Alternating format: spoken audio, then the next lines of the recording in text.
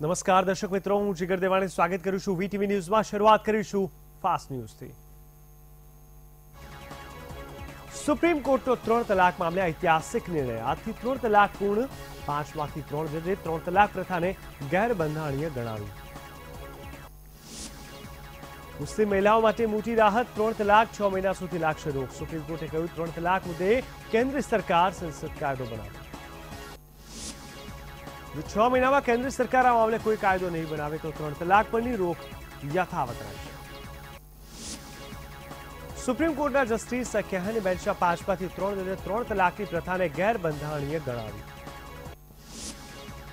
Justice R F રલિયન, justice Kurian Joseph અને justice U લલિતે ત્રણ તલાકને ગેરબંધારણીય ગણાવ્યો.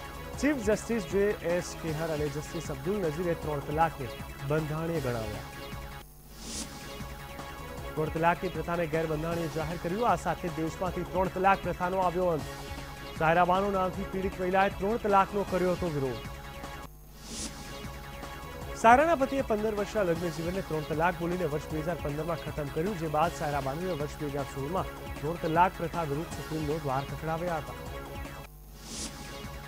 પશ્ચિમ બંગાળના હાવડાની ઇશિત જહાએ ઓગસ્ટ બે હજાર સોળમાં સુપ્રીમ કોર્ટમાં અરજી કરી હતી કે તેના પતિએ દુબઈથી ફોન કરીને તેને છૂટાછેડા આપ્યા હતા.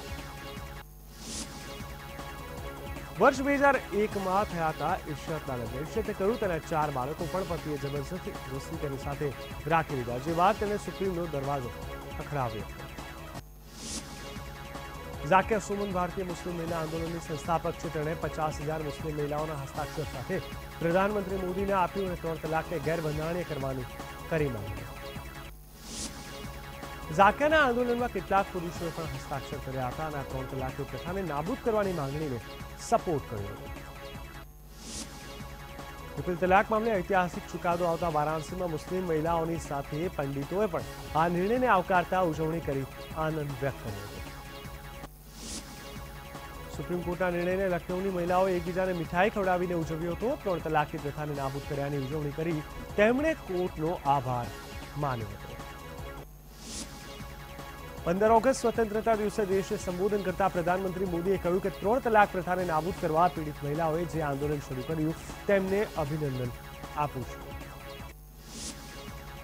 સુપ્રીમ કોર્ટના વકીલ સાહેબ મહેમૂદે કોર્ટરૂમમાંથી બહાર આવતાની સાથે જ કહ્યું કે ત્રણ તલાક બિન ઇસ્લામી અને બિન પુરાણી છે. આ પ્રથાને આજની તારીખથી જ નાબૂદ કરવામાં આવે છે. સુપ્રીમ કોર્ટના ત્રણ તલાક પ્રથાને નાબૂદ કરવાના નિર્ણય અંગે વરિષ્ઠ વકીલ સુબ્રમણ્યમ સ્વામીએ કહ્યું કે મને હર્ષ છે કે કોર્ટે ત્રણ તલાક પ્રથાને બિન સંવૈધાનિક ગણાવી તેને રદ જાહેર કર્યો. યુનિયન મિનિસ્ટર મેનકા ગાંધીએ ત્રણ તલાક નાબૂદી મામલે કહ્યું કે સરકાર છ મહિનામાં આ મુદ્દે કાયદો કરશે. આ મહિલાઓ માટે સફળતાનું એક પગથિયું ચડ્યું છે. ત્રણ તલાક નાબૂદ કરવાના સુપ્રીમ કોર્ટના નિર્ણયનો કેટલાક મુસ્લિમ ધર્મગુરુએ કહ્યું, હવે મહિલાઓને મળી આઝાદી. તો કેટલાકે આ નિર્ણય પર ઉઠાવ્યા સવાલ. ભૂતપૂર્વ કાયદા પ્રધાન અશ્વિની કુમારે પણ સુપ્રીમ કોર્ટના નિર્ણયને વધાવ્યો હતો. મેજોરિટી ખંડપીઠે કરેલો આ નિર્ણય ઉચિત છે. સલમાન ખુરશીને ત્રણ તલાકના મુદ્દાને યોગ્ય ગણાવ્યો. તેમણે કહ્યું ઇસ્લામમાંથી યોગ્ય નિર્ણય જો ઇસ્લામથી હટીને વ્યવસ્થા બની હતી, તેનો ખાતમો કર્યો છે. તલાક પર મુખ્યમંત્રી વિજય રૂપાણીનું નિવેદન. કોંગ્રેસ સરકાર પર કર્યા પ્રહાર સુપ્રીમ કોર્ટના ચુકાદાને વધાવ્યો. ત્રણ તલાક મુદ્દે સુપ્રીમ કોર્ટે મહત્વપૂર્ણ ચુકાદો આપ્યો છે. એક સાથે ત્રણ તલાક આજથી સમાપ્ત થઈ ગયો છે.